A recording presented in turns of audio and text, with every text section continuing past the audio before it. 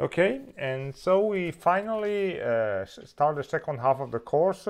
So during the first half, we focused more on the uh, JavaScript um, foundations and understanding how it interacts with the browser.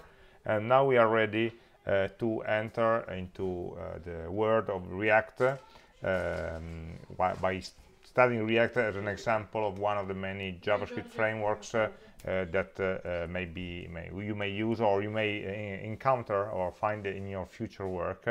Uh, is just one of the main, most popular ones uh, today, but we don't know about tomorrow. We hope that the foundation that we had in JavaScript will help us uh, to quickly grasp the working methods of different frameworks, so even for you in the future will be easier to adapt. so we are not learning React by, by itself, we are learning uh, web applications and in particular we can uh, write them using the conventions uh, suggested by React. okay, React, uh, as you know, uh, has been selected by us because it's one of the most popular front-end frameworks. Uh, it was developed initially by by Facebook and Instagram, and it powers those websites and was then made public and available in open source formats. Uh, in this first introduction, uh, we will just uh, talk about the basic principles, how it's working, and the, the, how to organize the application and uh, uh, some of the techniques uh, that we, we, are able to program. So today we are not going to maybe understand all the code that we write, all the examples that we see. just the, this first introduction is just a, a general overview about ju just to give us the idea of how it works, how uh, how um, a React application is structured, and so how we can um, uh, start thinking about uh, redesigning our application in a way that is compatible with the framework. Mm. And, and of course, we'll try to also understand what is happening uh, because we uh, really know uh, what happens at the JavaScript level. JavaScript frameworks started to be developed when programming JavaScript at the you know at the language level, at the DOM level, was became too complex. And especially uh, the browser environment uh, today is uh, even more comfortable than it was maybe five or ten years ago uh, because there are more methods and they are uh, say more uniform but in any case uh, the DOM methods are not so clear in some elements especially for the forms some elements behave in some way some other elements have different attributes or different methods and uh, so there are mm, the, the, programmer needs to take into account all these uh, strange behaviors uh, that are due to the 25 years of, of history of HTML and the DOM. Um, and uh, uh, and also uh, the we by working with a framework we can work with a, with a higher level. So in in in the DOM programming we are constrained only to use those components those elements that are offered by the browser so whether it's a div, whether it's a p, whether it's a table, uh, th those are the components. Uh, we cannot define our own. And, and the framework, in, in, on, the hand, on the other hand, uh, does exactly that. Let's us define uh, different uh, higher level components that, that, behave like HTML elements, but actually are composed of them. And, um, and in many cases also, uh, one of the problems that we find uh, is uh, the, mm, the processing of, of events uh, for example, uh, even in our lab, we see that when we click on some elements, we need we must update uh, the part of the page here, but then uh, also another part of, part of the page is affected, so you, we must update that or make it visible or make it invisible or change the class. So there's a lot of going around of these events, and the framework should be able, if we follow if, if we follow the conventions of the framework, then uh, the framework itself will be uh, responsible for routing all these small events uh, and all these small updates and refreshes to the user interface whenever something happens. And we pay this by following uh, some specific programming patterns. So we, we must uh, program our application according to the rules of the framework. We are not uh, working bottom up from the language to build what we know. We are working top down uh, by constructing the application using the rules of the framework, which is not so bad because at least we have some patterns to adhere to and that will guide us in the development. Uh, there are frameworks also always have usually a, big community that provides extensions and plugins. so whenever we want to do something, most likely there will be an extension for that. We don't need to implement everything from scratch on our own. And there's a, a particular part of React that uh, we will study toward the, the, end of the, of the course, uh, which is the most critical one about state management and we already uh, felt that uh, in our uh, in our labs for example where we don't know where to put the state information hmm? in the front end uh, for example the, the, list of items uh, where should it be stored?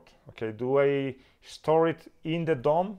So the list of items is the list of uh, html elements that contain those information or do i store that in a separate array? And do I put that as a global variable uh, in a class that is accessible from uh, everybody or or I decide not to store anything and just to rely on the server to provide the data so uh, knowing where is the data stored and uh, when it's updated and so being sure that all the copies of this data are consistently updated and especially when a, the master copy of the data is changed then everything else in the page is updated accordingly is a big work no? We, we must be careful every time we modify something, be sure of what needs to be updated. Hmm? And so this is the strong uh, message of, React in particular. Uh, it gives us very strong and rigid constraints uh, about how to handle the state. So it forces us to think really where to put the state, how to update it, and so that uh, by constraining us to say have an explicit design of the state location and the state management, uh, then it will help us to automate all the other uh, stuff. So actually these uh, two last bullets of the two columns are linked to each other.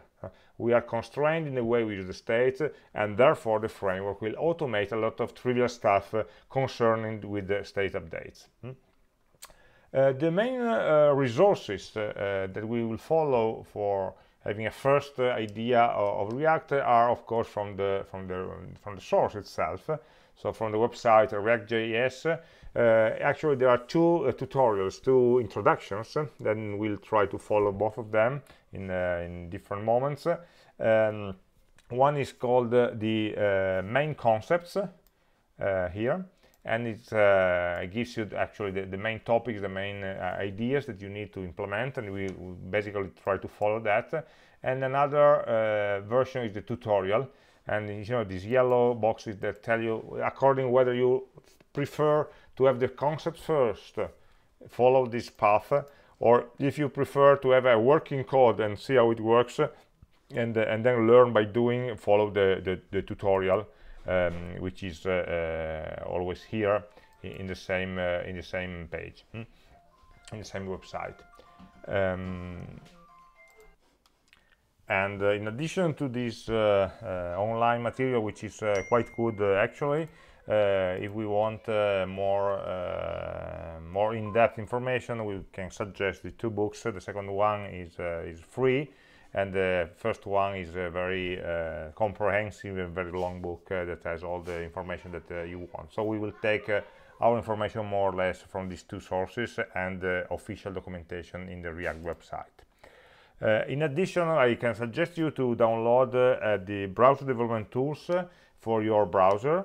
Actually there are two different extensions. One is for chrome and the other is for firefox in the add-ons uh, of both uh, browsers. You find a tool that's called react developer tools. In both cases here you can find the links but uh, in any case if you just search them in the in the um, in the respective stores. And what this component does what this extension does practically is the same in the two browsers.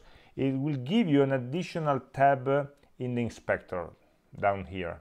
And it's called components uh, basically and there's a second one which is less important. uh, that uh, will uh, um, uh, allow you to see the content of a React page according to the components that you define. So you will see here a hierarchy, which is not uh, basically the hierarchy of HTML nodes, but uh, it's a higher level uh, view of the, the, same page in terms of components. And for each component, you, we, we will see all the methods defines, all the properties, props you see here, defines on the components and so on. So it can give you, uh, even if uh, React will be then compiled into JavaScript and HTML, the, um, the developer tools uh, uh, will show us the high-level version so that you can also uh, debug better uh, so we, we, understand what happens because in some in many cases the HTML is difficult to recognize even if we, it comes from our components. We'll try to understand them better as we go. Um, okay so first of all I want to share with you the idea about uh, uh, how the uh, React application are designed what are the main design principles that uh, uh, guide the, the, development of the framework itself and of course as a consequence the development of applications using the framework. Hmm? um, React is a declarative framework tends to be as much as possible a declarative framework so uh, we try to um, describe what happens and let the framework uh, make it happen. So we will never mm, explicitly manipulate the DOM. Mm? We are never going to set a property on an element anymore. We are never going to run a query selector anymore uh, because it's all the work, all the low level interfacing with the DOM will be the uh, work of the framework we just have to tell the framework what to do what we want to achieve what is the results that we want i want a page like this and we let uh, the, uh, the, the framework try to uh, negotiate with the DOM uh, how to make it happen. Hmm? Uh, we want to describe uh, the final result and we let the framework um, reason about the order of the operation. Should I update this or that before or both at the same time? should be done in parallel or in series, it's something that the framework will figure out. We will try only to describe uh, what we want uh, at the end of, the, of all the updates. And uh, basically we split the page into many components and let uh, describe every how every component is going to render itself. So it's a very easy way of thinking. I have many components and as a component I only have one main goal to render myself and rendering means displaying myself display myself by using HTML elements and other components that I will can uh, that I can recall and combine in order to get the appearance that I want. Everything else is managed by the framework. Hmm? It's not so simple, of course, but this is the main uh, idea, the main background uh, thinking method that we have. Uh, and so for doing that, uh, it's uh, for this declarative approach, uh, a lot of that uh, comes from the functional, um, for functional design, no? where it's very important to have functions that return values and these functions will never modify their parameters, will never have side effects and will always re return the same value. If we want the framework to be able to manage the updates, we must be consistent in what we, in what we ask. Okay, I, I, cannot have a component that in a moment wants to render itself in a way and the moment after wants to render itself in a different way. And so how can React decide which is the right way? Hmm? So everything should be very clear. If I ask a component how to display, it should always respond in the same way. That is the, the, the cornerstone of functional programming. Um, so everything will be encapsulated in something that are called components. They, we will see they may be defined as functions or as classes in, in JavaScript. And the uh, basic philosophy is that everything should be re-rendered on every change. So every time I change a variable, React is prepared to redraw the whole page uh, totally uh, from scratch. Actually, it's not doing that, uh, but uh, as, a, as, a mental, as a mental model, we can think that. So everything we uh, every time we change a variable we change a property we change a state variable we'll see uh, how how to do that later uh, the react is prepared to rebuild the page uh, the html page from scratch at least the part of the page which is under control of the framework. For doing that uh, uh, it works with a with an additional layer on top of the dom that we call it's called the virtual dom and the virtual DOM is basically a simplified version and more efficient version of the DOM that mirrors the content of the page and that can be modified very much quicker. Uh, so it's, it's faster to, to, to, to, query and to modify.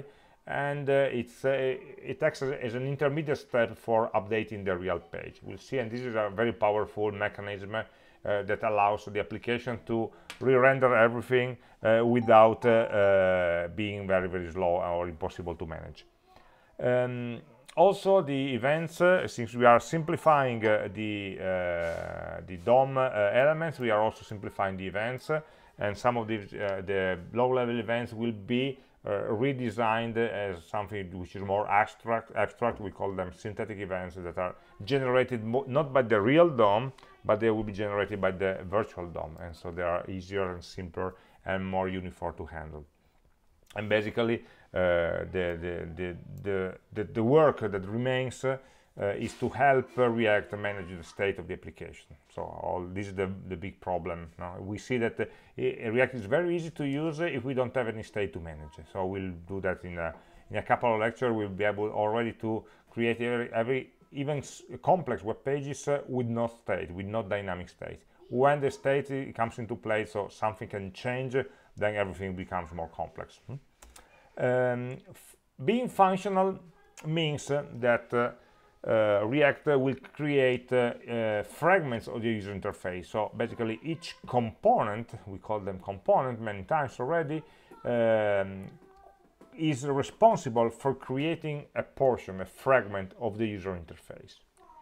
And uh, the description of the component uh, describes uh, how to create this fragment and it should be a function only of state and properties where state is uh, something internal to the component that is managed by the component itself itself so maybe whether a given uh, checkbox is marked or not.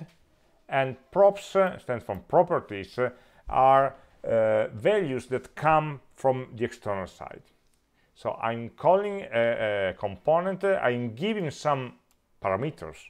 And in, in React they are called they are called properties or props for short but actually they are parameters that, from which I instantiate the component by giving a parameter some parameters some values to the parameters and uh, the rule is that if the parameters are the same so if I'm instantiating at another time the same component in a different page or in a different part of the same page with the same parameter with the same props then the component will display in an identical way. Hmm? Uh, so calling the, the, same function many times will give always the same result. this means uh, idem idempotent and uh, the result is immutable. So this object cannot be mute, muted. Uh, by the way, we will discover that uh, state is overrated. So many in many cases, uh, the components themselves don't need to manage any state and so these functional uh, components will be even much easier they will only depend on the parameters uh, they don't depend on an internal state so they only have one way of render themselves depending of course for a given of course value of their properties um, okay so always think that uh, a component cannot the interface does not change uh, unless we change the properties and this can only be done when we recreate the component or we change the state that can be, in this case, the effect of some dynamic behavior. Um, immutability is also a key uh, concept that we find everywhere in React. Uh, as much as possible, since we are trying to adopt a functional uh, programming model, uh, um, as much as possible, we'll we should try to design immutable objects. So objects that will not uh, modify their, or will not change their values after they've been created for the first time.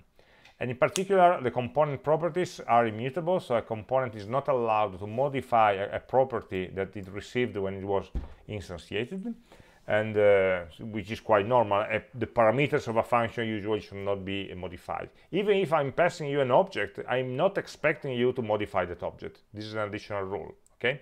so uh, you should not be allowed to do that of course the language doesn't force you to do that but uh, you should uh, uh say respect this kind of of contract okay and also the, the state of a component cannot be modified directly by the component but we should ask the framework to modify it and we'll see there's a special call called set state uh, that we must call every time we want to update the state. And this is important because then the framework knows that something has changed and so knows which part of the page has, be, has to be um, uh, modified. Hmm. and of course these functions should be the so-called pure functions so they should not have any side effects. They should the fact uh, that we call a function the fact that a, a component is, uh, is asked to render itself must not change anything any data any information any variable outside the function itself. Hmm? so a function should not modify in any way any external variable any global variable any other variable which is outside the class itself. This is very very important because it what gives the predictability uh, to the page and also gives the the possibility of composing different components in, the, in many ways. So every component is just, uh, just by itself. It doesn't care what exists outside itself. Hmm? Uh, so it forces us to think in boxes and levels of boxes, but then gives us uh, a lot of uh, um, uh, self-defenses against modifying something that doesn't belong. So our application, we said, is made of many components and uh, uh, we have a mechanism react has a mechanism of rendering the application. So asking to each component uh, how do you want to display yourself?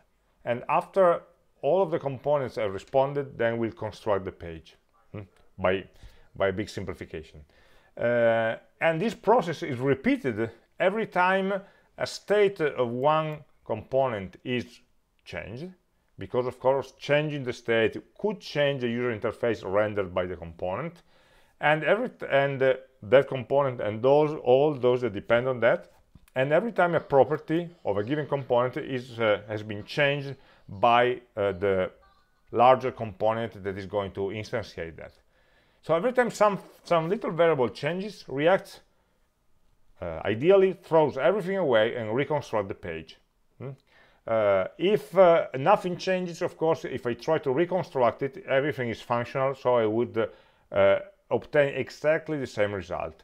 If I'm changing something, then this process of reconstruction, I will probably get to a slightly different result, or even a totally different result. So in many cases, maybe just uh, one uh, item more in a list. Uh, in some other cases, there we could be a whole portion of the page which is swapped in or out uh, when a, a, little global variable or boolean variable is changed. Okay, so uh, React doesn't care basically uh, whether this modification is small or, or big. We, it just recomputes the page. Of course, uh, if I tell you that uh, at every little variable change, all the page is being redesigned, re-rendered, uh, you are telling me that I'm crazy because it, it will be uh, totally uh, uh, slow and will have a very terrible performance. Okay, that's where the virtual DOM comes into play. So this performance for the re-rendering is actually very quick because uh, first of all, React doesn't uh, directly modify the DOM. Okay, modifying the DOM is a dangerous and slow operation because every time we modify the DOM, then the browser will have to recompute all the layout. So apply all the style sheets, uh, com uh, compute the uh, updated style sheets, compute the, the, the, the, spacing, the borders, and everything else. And once it has the box model computed out then you must convert this box model into rendering primitives for showing the real content on the page. So every time we touch something in a DOM I, I, we are triggering an expensive an expensive process inside the browser. So what React does it is a copy of the DOM the virtual DOM inside uh, the, the, framework uh, it's an internal data structure in memory hmm? Uh, and uh, it's a, a, copy of the DOM basically. So when we, and well, a simplified copy of the DOM where some anomalies or asymmetries of the, of the real DOM are being mm, simplified away. Uh, whenever we are constructing a component, uh, the component is constructed in the virtual DOM, not in the real one. And uh, then after constructing the, the, the, new page, React will compare the current virtual DOM with the new one, with the, with the one that contains the modifications. Since everything is functional, it's very easy to keep two copies around uh, because uh, either copy can be recomputed quite easily hmm, from scratch because uh, from the, with the same inputs we always get the same output. And it will match the two DOMs and find the differences. And only those differences, it means those nodes in the virtual DOM that changed they will need to be propagated to the real DOM in order to show the difference to the user.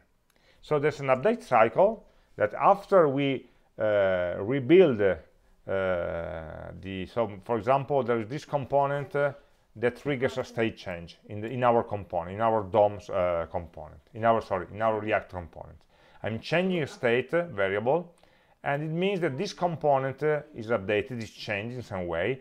And maybe this state is also passed as a property to this other component so this other component will also also be affected. Hmm. so we are affecting some nodes in the virtual DOM. And at the end of the process uh, the, the, whole page is re-rendered. We find out that these four nodes didn't change anything because their properties didn't change their state didn't change.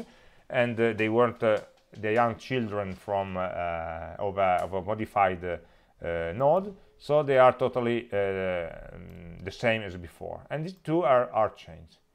Uh, the real page didn't change in all this process. So this all of this process uh, so uh, computing the differences and the minimal set of changes uh, for uh, reconciling the old DOM with the new one always happens inside the virtual DOM. Only when the virtual DOM is stable so all the events are being processed and all the modifications are being diffed are being compared. Uh, only at that point uh, these differences and only those uh, are transferred to, to the real browser DOM. And they will be transferred all in a single batch. So not uh, so they will trigger only one single re-rendering operation from the browser, browser, browser point of view. So in a way we are recomputing everything that gives us a very clean slate uh, way of thinking we recompute uh, everything and redesign the page from scratch on one hand, so easy thinking or in a functional way. On the other way, for the efficiency point of view, we are really modifying only those little pieces that need to be modified. Because we always keep the old copy around and we always uh, know what has been modified and we schedule all the updates at once so that they will happen in the shortest possible time. So this is the model uh, and the layer, that the virtual DOM is the layer that makes uh, uh React really possible, actually. Uh, as we mentioned also this virtual DOM also has some uh, additional uh, helper functions it has some events that are in, in, some of them are just replicas of the DOM events and some of them instead are um, new events that are more high level and that will help us in developing the application. And uh, uh, but we have uh, we don't need to register event handlers on every component because every component already has natively an event handler registered uh, for it. Mm? so the uh, handling of components is automated. Uh, we, we only have to define the methods that we want to handle them and then everything else it will be automatic. So it's like having an event tender register for every component already by the system. And also also the, the small uh, differences across the browsers are, are hidden, so you don't see them. And so it's, uh, it's another it's um, another facility, and uh, and uh, you don't need to care on to manage the events uh, basically from the DOM. So all the quakes about the preventing the, the, the propagation of the event and so on is something that we don't care anymore. So every component will just receive events for its own content and we'll just have to manage those events. Everything else is managed by the framework. And uh, uh, from a more practical point of view, what is the basic principle of React? Hmm? React is based on this rendering algorithm uh, and uh, we'll try to map a React element into an HTML container. Hmm? So imagine you have an HTML page at the, at a given point, we have an ID called uh, div, probably called root, and it's one normal node in your HTML page. At that point, you want to, um, be most likely that will be an empty node, hmm? a div, an empty div with ID equal to root, for example. Uh, so you want to mount your own application inside that container. So the, the HTML looks like a, an empty page, or maybe with some static content, and then a container that starts empty, and then it will be filled by React with this render uh, method. The rendering says, okay, I'm taking this component and I'm mounting it into this container. Right now, this component is very simple and it's static. We always display the same text uh, and so mm, will, the rendering will only be done once at the beginning but if this component contains uh, some uh, events to be processed some state changes and so on these updates will be uh, reflected on the web page uh, from now on after we render it after we call the rendering we are just attaching the element into the container. Uh, this is a, it's a, it's a toy example. Of course we need something more complex. And may, we might, you may ask uh, what what happens here? We are in the javascript world and we are writing html inside. That shouldn't this be a string for example? Shouldn't we have quotes here? Uh, no and this is a good point. In, we are not uh, um, create inserting strings of html into the page we are inserting components so actually what we should write here let's look at the right hand uh, picture for the moment is say we are mounting into a given container from the element a, a React component. So a component which made of a div with property ID equal to test, and this div will contain an h1 with no properties and a content uh, of textual content called a title, followed by a paragraph with no properties uh, and uh, a textual called, called uh, paragraph. This is what uh, creating a component looks like. When we say that we, a component should render itself, this is the instruction for the component to render itself. Uh, React.dom.div are just a short shorthands for a single code which is called create element. We are not calling document.createElement. We are not creating DOM elements. We are creating React elements. Okay. Uh, but it's very similar to creating DOM elements, uh, uh, except the fact that we are nesting the calls to have immediately nesting structure. We don't have to create a node and then append it. So that's easier to, to work with. So we are creating a, a little subtree of the virtual DOM. Uh, fortunately, the designer of, uh, of React devised a simpler syntax, which is one on the left here, where the same exact code can be written in this way, with uh, something that looks like HTML. Actually, is a is a, a, syntax which is inserted into. It's called JSX, um, JavaScript XML uh, means, uh, which uh, is allows us to insert a fragment of uh, something that looks like uh, like HTML. Actually, it's a variant of, of XML, and that will be translated uh, automatically by, by the Babel library into this code. Okay, so uh, we can write the text on the left and we know that what we are really doing is inserting nodes. So this should not be considered as a string, as a multi-line string. It's uh, really a set of objects. So instead of div, we should read uh, react.createElement div, hmm?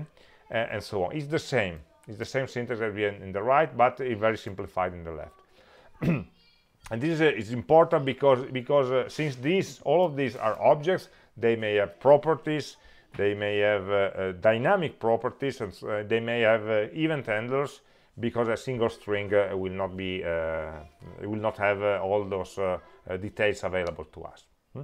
So of course we will come to that and um, and the, and uh, all the events are strictly controlled by by the framework with a with a unidirectional data flow hmm?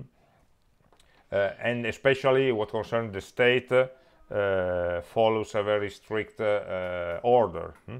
Uh, by the way uh, a user is interacting with the view for example hmm? a user interacting with the view by clicking on an element so this view uh, this interaction is, is captured as an action, as an event, uh, and this event uh, is handled by an event handler, I like normally that we are uh, now able to do in JavaScript, and this event handler, maybe it can change the state. And the fact that we can change the state, uh, then it will uh, modify the view. Hmm, so a change of the state will force a re-rendering of the component, and this re-rendering may change the view of, of the component itself. Uh, and, and this only happens in this way. So for from the view, you cannot modify the state. The only place you, where you can modify the state is into an event handler. And the only way to call an event handler is to interact with the view. And the only way of modifying the view is uh, changing the state if we go uh, the other way around. And so the only way for uh, passing around the state information is uh, to use it in the rendering of the component or to pass it as properties to the children components. And the, the, these are the only ways in which information can flow. From top to bottom and from the view to the event handler to the state uh, and back to the view. Hmm? and this uh, of course is very rigid but it helps us in understanding what's going on and it helps the framework to optimize all its uh, rendering. Um, by the way this means that the state of a component is always owned by one single component.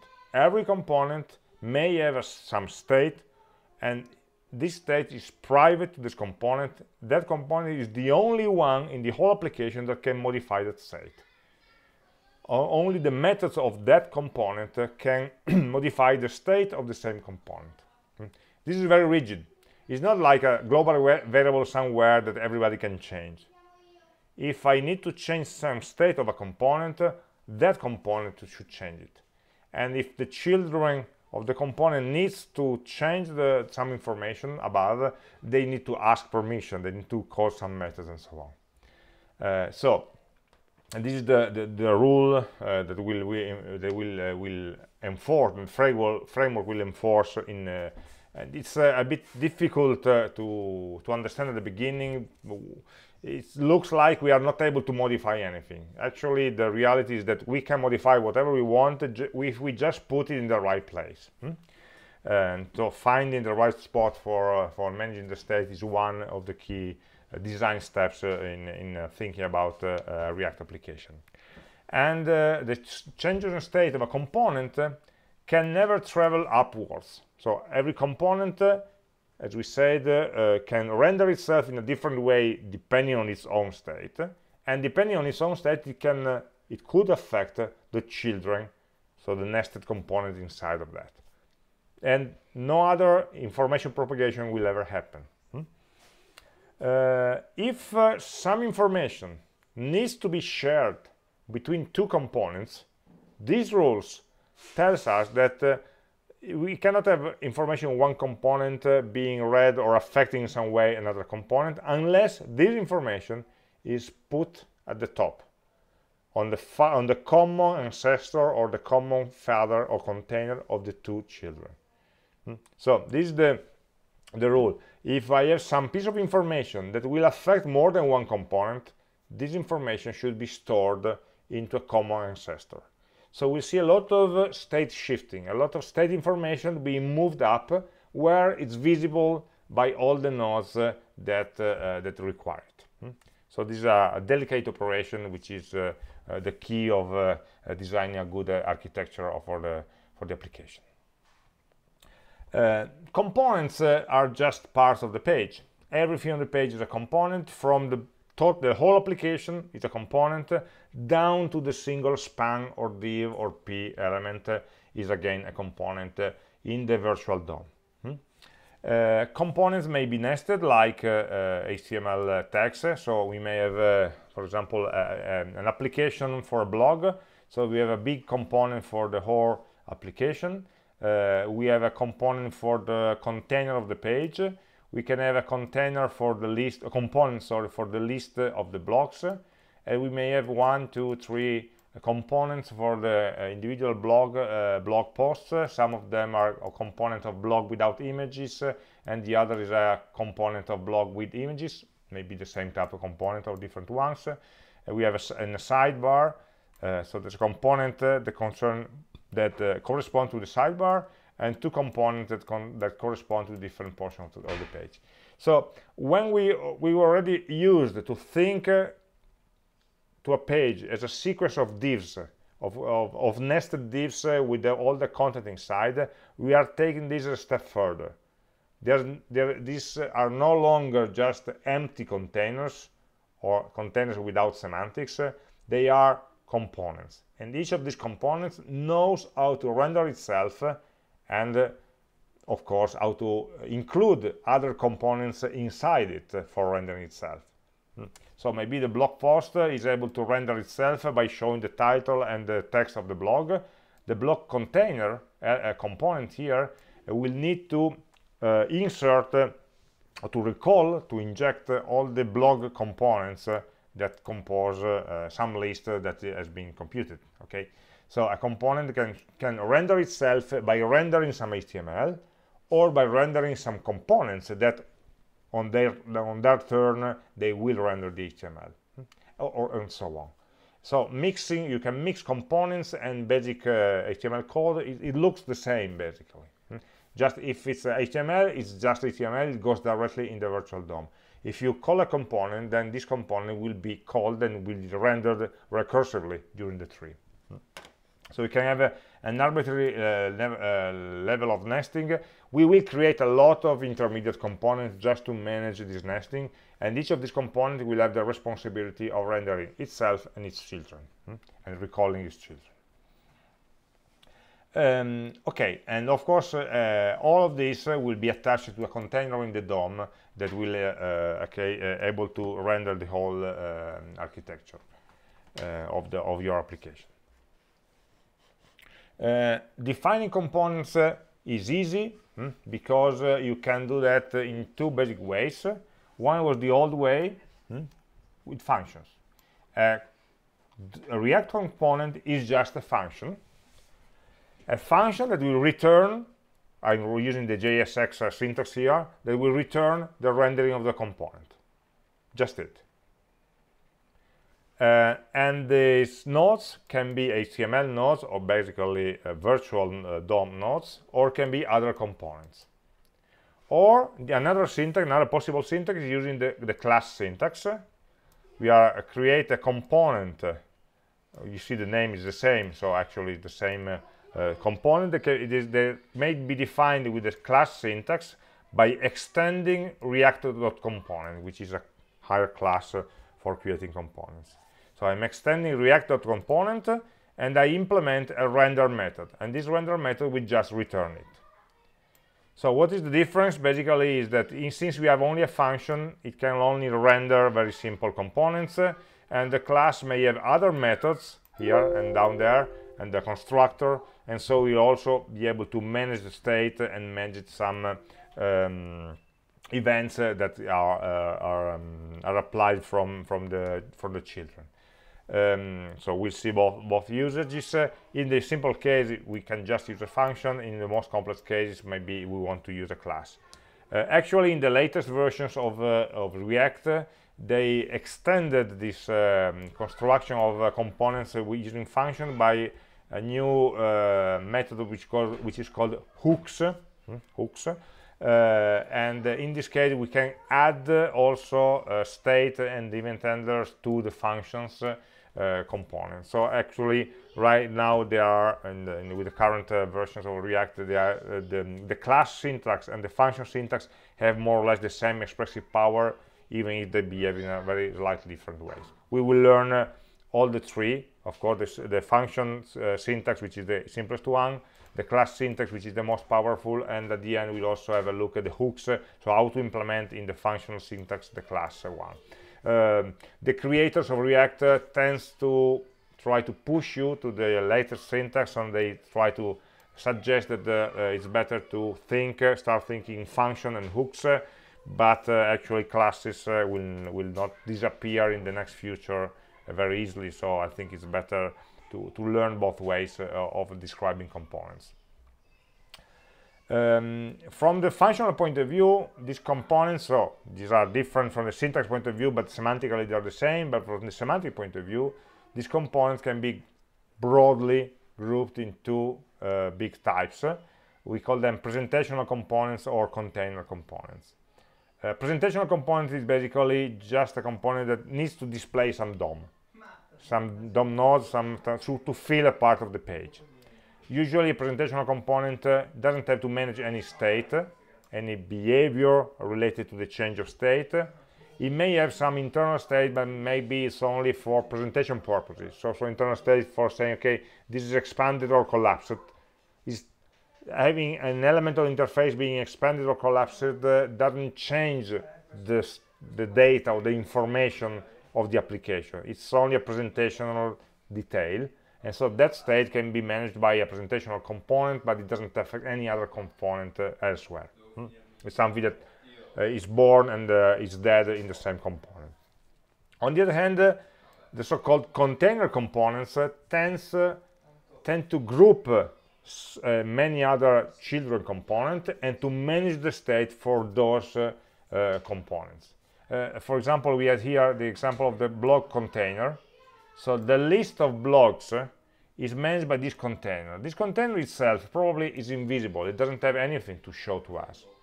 But its role is uh, uh, to know which blog post to, um, to display, to create the children component that will display the blog posts, and to interact with the backend for updating the list of blog posts by doing a REST call uh, and updating the, the information. So this will manage the state, will propagate the state to the children, will create the, the, the right number of children depending on the state, and then pass the information uh, with uh, to, through properties to these children so that the children, maybe they are presentational components, they will display information. So there is not a rigid distinction. There's nothing in the syntax that makes you the, the distinction between the two but it's easier for us if, if we think of the role of a component of being just for presentation or for data management or for the container that will manage the data for a group of components. you see that the single blog post or the single components, presentation one, don't have meaningful state to manage because this state has been shifted up to the container that needs to uh, have the global view, uh, to know how many posts, for example, are shown. And this, the individual blog post doesn't know and doesn't care if it's the only one or if there are three more in the same page. The container does care about that. Hmm? So we are separating the concerns and the responsibilities. Um, and this data flow is also uh, evident when we think about uh, how values uh, can be passed from one component to another. And uh, um, every time we create a component uh, it gets some properties uh, passed to it. And these properties are given by the father component by the component that creates them. So I have the main components here. They may have some properties by the application in the render method and these components uh, instantiates uh, three different components in its rendering, in its render function, and it can pass some properties to each of the children components. And this one can pass, can pass properties down to their children and so on. So these properties, these parameters, we called them before, which are the only information that can affect a component presentation, always flows from top to bottom. Always. Hmm? Uh, in, we will see later that uh, the events uh, usually propagate in the other way. So an event is created by the low uh, level component. Maybe there's a link here, there's a button here, and uh, this button or this link needs to change some state uh, in this component or maybe in the top component. So what, what can I do if this component needs to change some state which is stored there? We first know that, uh, we first saw that the, the, only component that can change a state is the component itself. So no other component has direct visibility over this state. So in this case, the lower component needs to call a callback function on the top component. And how this component can know this callback function? Through properties. So properties include data values, information to be displayed, and also functions. So every component gives to their children in the properties. There's a set of functions that the children can change if they want to change the state of the container. Okay so uh, we are passing data through and this data is determined by the higher component that the father that decided which information to give to each of these children. And uh, additionally and so this will create a static part of the application and then additionally, in these properties, we are also passing some functions, and these functions can be called by the bottom children because I'm giving them this function, they can call it, and this function will uh, be called in the context of the component that can, uh, of course, then use this call for updating the state. Updating the state uh, can cause a re-rendering of all the components and in many cases uh, these properties are depending on the state of the uh, global component. So for example imagine you want to delete this blog post. So the list of blogs uh, is in the container component. The container calls three components instance three components one two three by giving each of them the properties of the text uh, of the specific block that they need, to show. Block one block two block three. Post ah sorry post one post two post three. And it gives a, a delete me function and so when uh, an, an, action here on this blog post uh, through a button for example or an icon or a link uh, creates a, a, delete action and this uh, uh, component will call the delete function on the container component. This container component will update its state to remove the second post from the list and it will start re-rendering itself. Re-rendering itself of course will uh, re-render again the first post by passing the properties the content of the post and we will re-render the second post actually with the content of the third one because we are removing uh, an element from a list and so we are shifting all the elements up to uh, by a position by, by one position and at this point uh, the third one will be uh, will not appear no? there will not be any third children or maybe the container will decide to read another um, post from the server and display this other post because we always want to show three. Then it's up to the container component. And so the fact that a lower component called a callback function on the on a higher component and this component higher component changed the state then uh, all the local uh, all the following components uh, may have a pro changed properties. Hmm? so it's a it's a very rigid, rigid mechanism properties always from flow, flow from top to bottom and the properties of a lower component depends on the properties of the higher component and on the state of the other component. If we change the state of a component it may change the state of the, of the properties of the lower components and so it will change the way in which they um, they can re-render. Okay uh, so this uh, is the life of the component. The states uh, is a, a variable local to the component. We can usually initialize the state by looking at the property that we receive and we can mu mutate the state only by calling this set state function and we'll see uh, a lot about this function later uh, in, the, in the following uh, lectures. And uh, the important thing is that every time we call a set state we are retriggering the rendering of the component and all the children below. We shouldn't be uh, um, um, it's not a problem no? uh, retriggering the, the, rendering because we know that virtual DOM will be very efficient in doing that. Uh, so we can uh, we can do that whenever we need. And uh, some of the state uh, variables even after after we change them can also affect the children components because the properties that we pass to those components uh, will depend on the current ones. Okay? So this this whole play between properties and states uh, that uh, determine the behavior on application. Hmm? uh, we have this top-down rendering model and this uh, interaction between uh, states and properties which are at the core of the simpler uh, or the simple loops con con controlling the behavior of a react application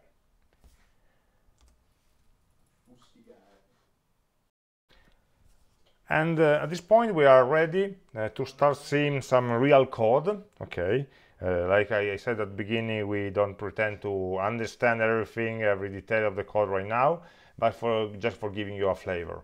Um, the first uh, flavor I give you is a, a, a very simple uh, approach to React application that we will, we will overgrow very quickly uh, to be honest. uh, including React in a, by hand in a, um, in a small uh, file, in small HTML file. Just to show you how React is simple, basically its core. Okay, then there's a very big ecosystem around it. Um, that uh, uh, so let's imagine that we have a, a very any HTML page. Hmm? I will make it larger.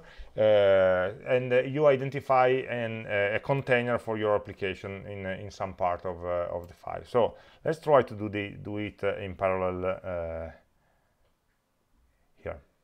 no, sorry it's the editor is this one. Okay so we can open a folder that I prepared. It's an empty folder. Okay so it's an empty folder here okay? I to create a new in, uh, index.html file. Hmm.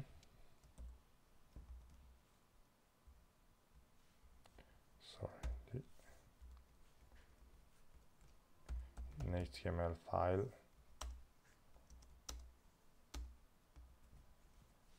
Let me generate. Okay the HTML sample by by the browser okay so I call it react by hand. And uh, I can uh, the body is empty. I can just define any empty element. Id is equal to uh, we called it in the slide uh, react container. So react container so this is an empty page with an empty div called react container. And we are loading a script uh, for uh, for react uh, for the react application main.js uh, what we need to so uh, we want to mount the react application inside the script right? And the React application will be inside this main file. The next step is, of course, uh, to include React in the page. Hmm? So we can do that uh, by simply including two scripts. One is uh, the React library here.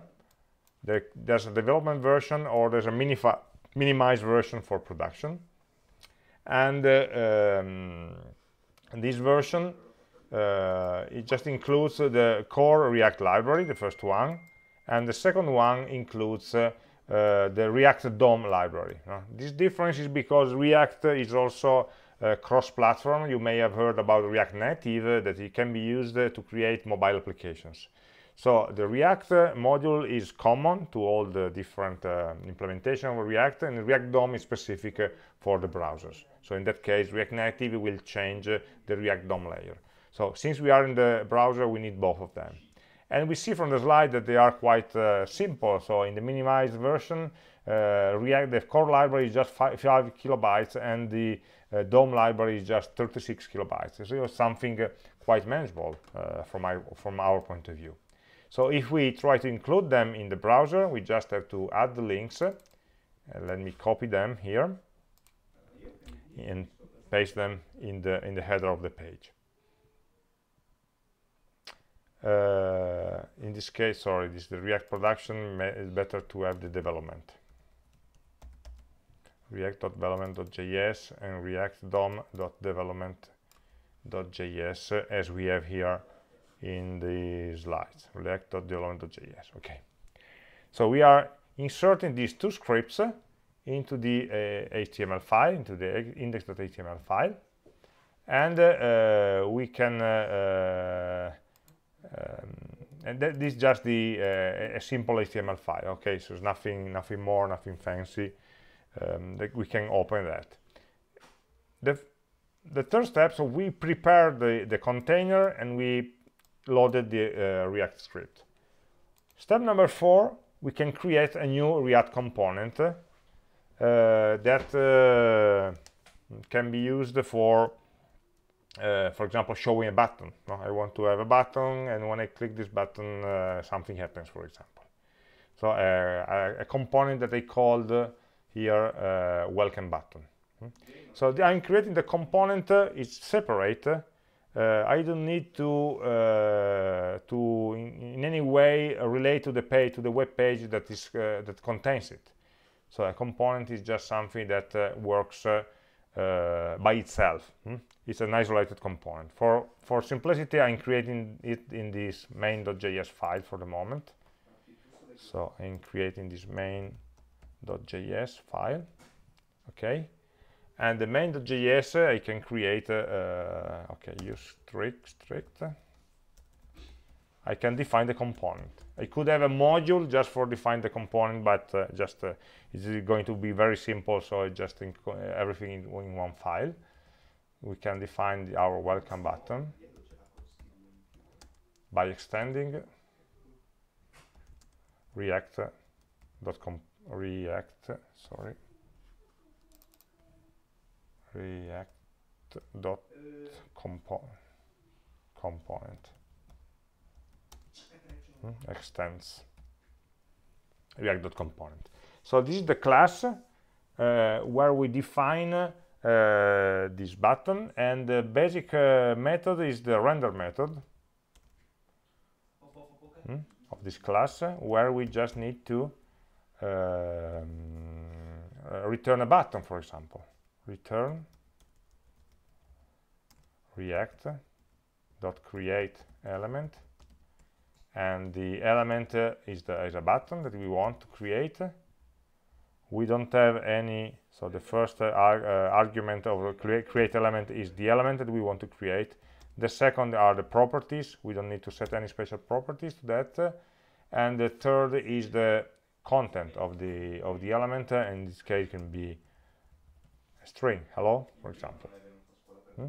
uh, we'll make it dynamic later. So for the moment we just try to see how it works in the basic state okay? And uh, the last step see this is more complex we'll we'll come to that but uh, we'll do that uh, one step at a time. So the render will just uh, uh, create the element that will be used for displaying that element. And finally we must add the react dom.render uh, method that will uh, in insert the component uh, here into the container that we found in the DOM. Mm? This is also the, the key step uh, to for making it work. So we go back to the code and the main.js, after we, we, declare the class, uh, we find uh, the container on, in the DOM document dot query selector of uh, uh, react container here and we can react. Dot uh, render. Hmm? the call to react dot react dom sorry dot render. Uh, of the element. So we are creating an element react dot create element of our welcome button and we mount it into the container node hmm?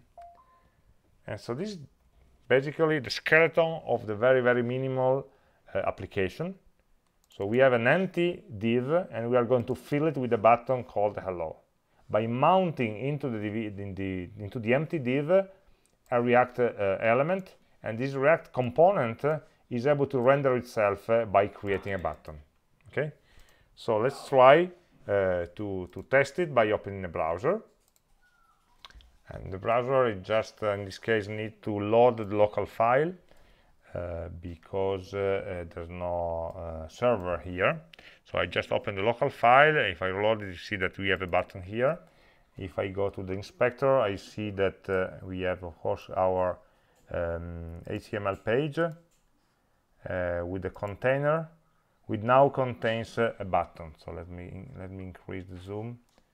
You see that the div now contains the button. This button was not there. It has been inserted by our javascript code.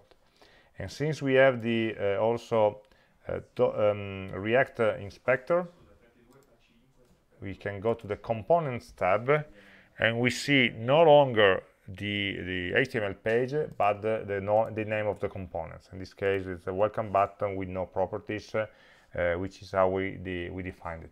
Okay, so this is the simplest case we have this uh, uh, just button being defined as a component now we can improve the component by adding some some behavior for example uh, we can say that this button can be displayed in uh, in I don't know in uh, Italian or in uh, in English mm. so we may have some local state for the language mm. Uh, for defining the local state, we must use a constructor to, for defining uh, local properties. So any, any uh, component uh, receives some properties from their parents uh, and uh, may additionally have some state for itself, by itself. Okay, the properties are coming from outside, from the external side, and the state is defined by the component itself the um, usually the constructor should always call the sub superclass constructor with the super props. So we always have this statement at the beginning of the constructor. And then we may define a state uh, as an object. Hmm? the state is an object private uh, to this component. And we can define that uh, for example the English is true a very simple object with one property English. And so we can also English with the N. So in this case uh, this component uh, way, might uh, change the message uh, when, depending on the fact that this uh, could be English or Italian. So in the rendering we could uh, customize the rendering according to the language. So for example if English then return hello otherwise return. Ciao. Hmm? um, in this case this button is not changed of course because English is true. Also there's an error here. Um, English is not defined. Of course it's not defined because not English but it's this state English. Okay so the button is still hello but if the state is changed to false then if you render the page again we see that the component has changed hmm? so depending on the current state uh, the behavior of the component is predefined is determined now what we want to do is to make this state uh, change according whenever we we click the button hmm? so we can do that by adding some uh, property, some event handler to this button. So these uh, uh, braces will contain all the properties that we want to pass to the button element. Uh, they will, if button is a predefined element, uh, if it was a component, then these properties here would uh, appear in the properties of the constructor. But we already, we may have our custom properties, or we may also use some predefined properties, like for example on click, which is the property for calling, for handling uh, the click event. So we don't need to register the event handler, but just uh, to specify what we want to do. Sorry, not uh, it's a property. So, and we can define, for example, an arrow function where we, we, we invert, for example, the uh, value of the English state variable. So we, we can uh, call um, set state hmm? so which is the only way we could change the state by taking the current value of the state oh sorry by passing a new object. So this is immutability. I'm not changing the state. I'm giving you a new object with the new version of the state where the english property is uh, computed as the inverse uh, with a not of the current state English. So we will learn all of this in the next step, of course. Hmm. So uh, when the user clicks on the button, I have this callback function that will construct a new description of the state, a new object, uh, which is actually the opposite of the current uh, version, and I'm calling the set state to replace the state on the button. Replacing the state will retrigger the rendering, so let's we try it. Reload the page. If there are no errors, when I click the button, you see that the language changes. And if we inspect the object, we see that this object has no properties, but it has a state. Right now, this state is English false. When I click on the button, English false, I click on the button, English becomes true. I click again, English becomes false, and uh, and so on. Hmm? So we have a mechanism for rendering an element depending on its state. for example this is very simple depending on the state I change the text of the button but I can do whatever I want in this render method to construct my uh, my application and I have a basic, very basic mechanism to change the state according to some user actions so we decide which actions we want to manage and we have a callback for managing that. In this case, uh, it's uh, what we call the presentational state because the state is only confined to this component and it only affect, affects the visible behavior of this component. Mm? So it's a, we started with a simple case. And uh, um, do we do we know React at the moment? Well, not yet, not totally. Uh, what we can't use at the moment, what we can do at the moment uh, is that we can't uh, use JSX. So we had to create the button using um, react.create element, which was a, a bit slow and inconvenient. Uh, so we need uh, also to uh, learn to be able to use JSX for our own convenience. But in this case, we should also load Babel in the script files and uh, the Babel will transpile the main.js on the fly in the browser which is not mm, not a good idea because it will slow down the browser because the browser then will download Babel which is much bigger than React. And then uh, every time we load main uh, this main will be transformed into a, another version. Uh, it's not something that you want your users browsers to do. You want to uh, do all this compilation transpilation from uh, converting the JSX syntax into JavaScript, you want to do that on the server side. And so we have to learn that, how to do that. Uh, right now, it doesn't run with a web server because you can't use import. Uh, it doesn't. Uh, it has problems with CORS. Uh, so we we need actually to move from this very uh, basic small implementation to something which is more robust. And and of course uh, a lot of browsers uh, react is using a lot of advanced browser functionality that will, may not be available in all the browsers so it's better to have some libraries that will help us to polyfill the missing uh, uh functionalities. And also we have we are in a very basic uh, uh, save and reload cycle. We have to reload the page every time in in in the browser which is slowing our development cycle. So all of these missing features that will move us from the, the current state like uh, I more or less understood uh, what uh, React is about to some real development environment can be filled by, by simple script. Hmm?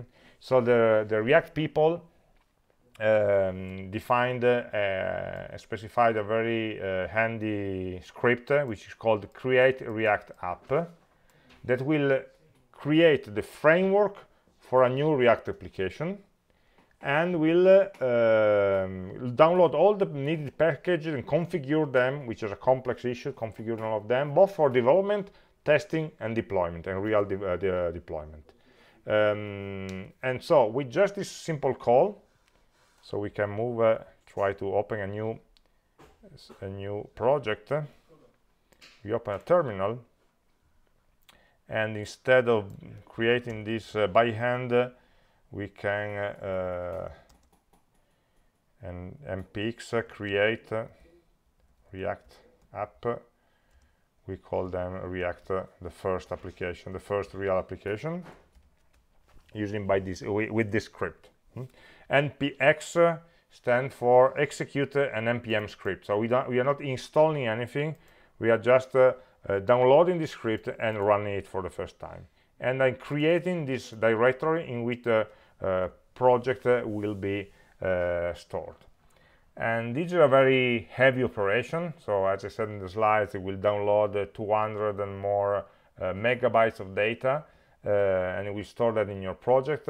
Of course, most of this information will not be loaded by the browser uh, because uh, loading 270 megabytes and uh, for every web page is it would be crazy but uh, most of these packages are used on the server side for pre-processing, for checking, for polyfilling, for uh, transpiling, uh, uh for testing, and so on. There's a lot of uh, uh, stuff going on behind, behind the scenes here, and so this really downloading um, tons and tons of of of, um, of packages that that we we most of them we don't even need to to know about them, so that it's very very easily wrapped and so we, we, just know that they are there and while this is running um, I we let's have a look uh, so we create um, a directory in which we can start the project and then npm start will start the web server uh, that will serve the, the, the, project and all this web server will have all the features installed so we can use JSX, we can use uh, modules and so on. And uh, uh, while this is still working, uh, maybe we can have a look at the final result. The final result is something like this. we create um, a folder where we have a source directory and a public, a public directory. A public directory is for static files being served by this uh, uh, web server, which is not Express, it's another web server in, internal to React, but the, the idea is more or less the same. And the source file contain, will contain the sources of the application, so all the JavaScript files basically. Uh, there are some fixed points so you cannot customize it uh, freely there are some fixed points so you must have a, an index.html file and this is the the root of your application the, the real page they will be published at localhost 3000 uh, and uh, the, the good part is that the browser is instructed to automatically reload the page whenever we modify the application. So not only the web server is restarted, uh, but uh, still better, uh, the, um, the, the front-end page is refreshed. So you, you, see that your changes to the application in real time without even reloading the browser, no? because the browser is already running the React application. Um, usually you don't have to modify this index uh, unless you want to, you know, to change the title or something like that. Then we have index.js uh, here, which is the starting point of the application that basically calls uh, react DOM.render. It's very simple, this file that uh, starts up the application. Hmm? So if you want to customize, customize the startup application, you just work here. Uh, otherwise, your application is inside app.js. App.js is ready for you to, to wipe out and reconstruct your application from scratch. By the way, there are also some test scripts uh, uh, here for testing the application and so on. So let's have a look uh, whether the project is ready. Yeah. So we can, uh, like it says, uh, maybe we can open this folder so we can see the files react first here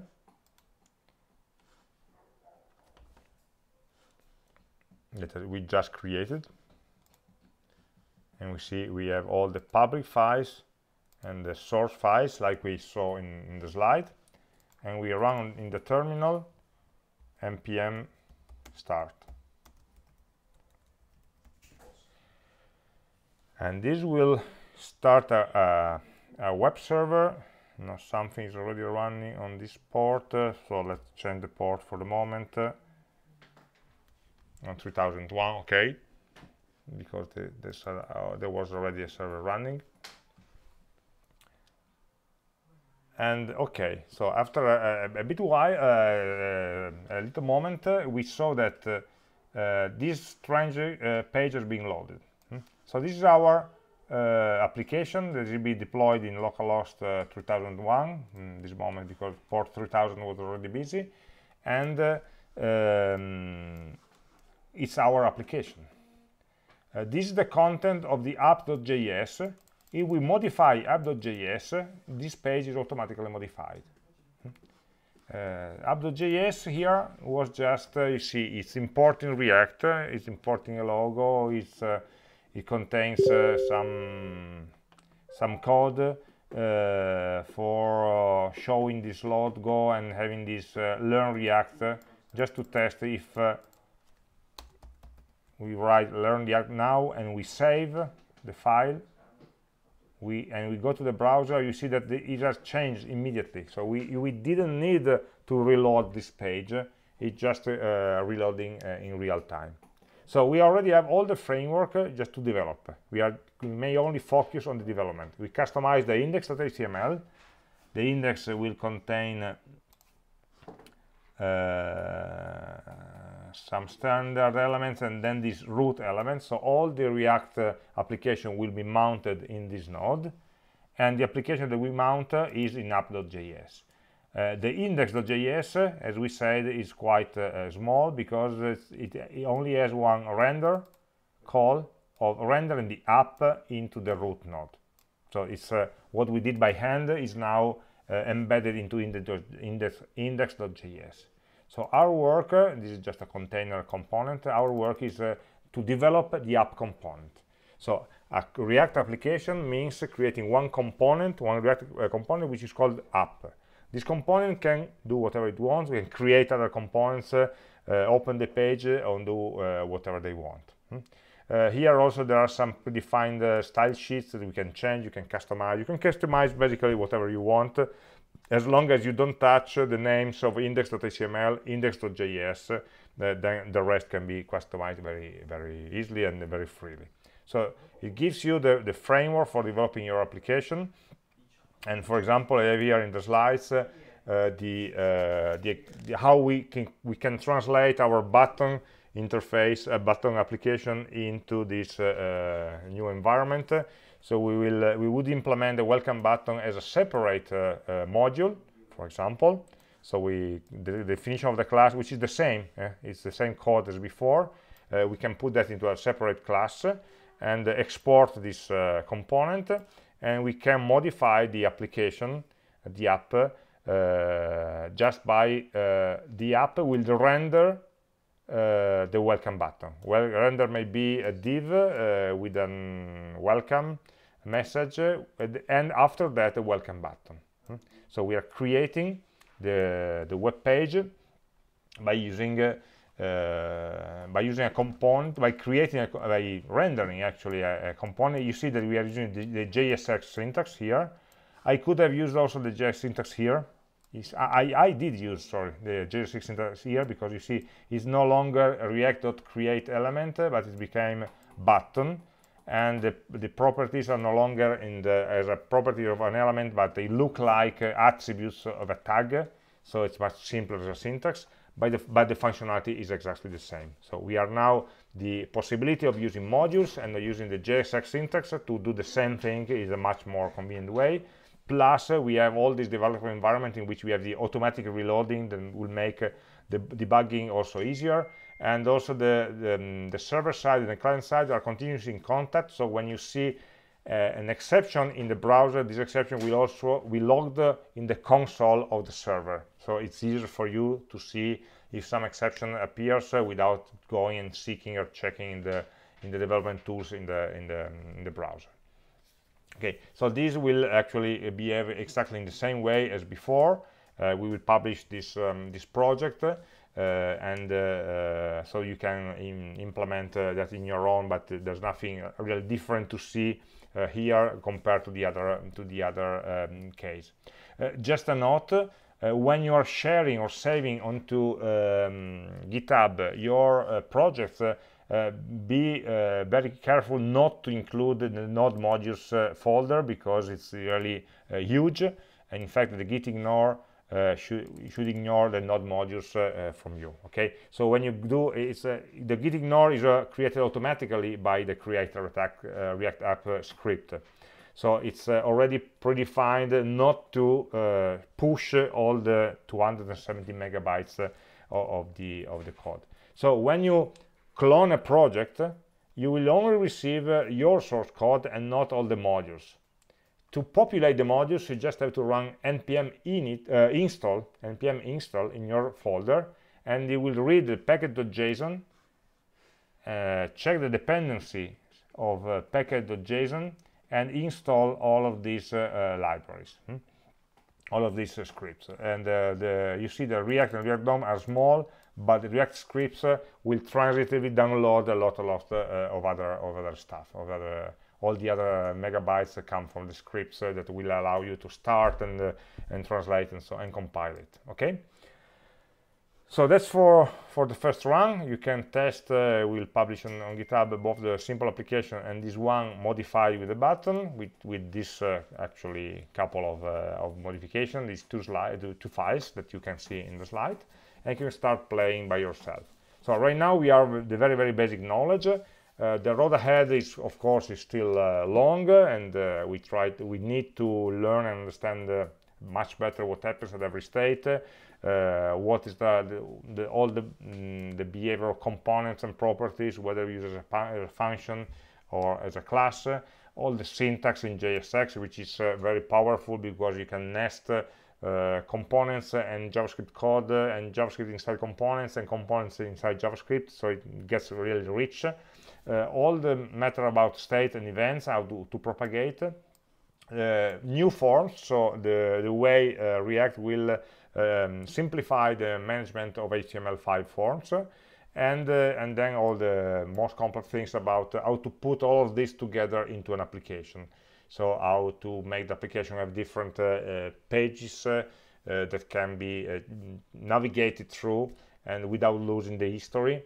And this is, uh, this is the goal of the router for having a, one single web page look like many application pages and uh, finally for example the hooks uh, that will allow us to create rich components with the syntax functions with the, the latest developments of react and so on.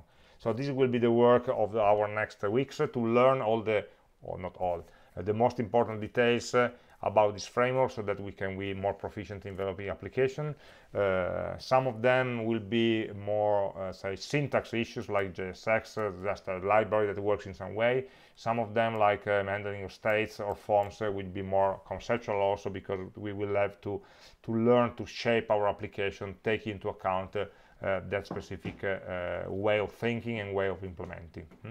But I hope that this introduction will give you already the gist that this framework uh, will help us uh, with the development and of course we'll need to still have in mind uh, what is a function, what is a closure, what is a callback, what is a class, uh, what was the this, uh, what's an object, how to assign. So all that we learned in the in the first half of the course uh, will help us in understand very well what we are writing. Hmm? in many other, in many say, non non-university courses, they are starting uh, the course at this point, saying, okay, a component is done with this syntax, but I don't think it's acceptable for uh, computer engineering to write some code without understanding what is happening under the hood, even because in the, the next framework uh, around the corner, uh, the syntax will be different, but the language uh, below that will always be the same. So we hope we are doing something, maybe we are taking the longer route, but it's for the future, for our, for your career.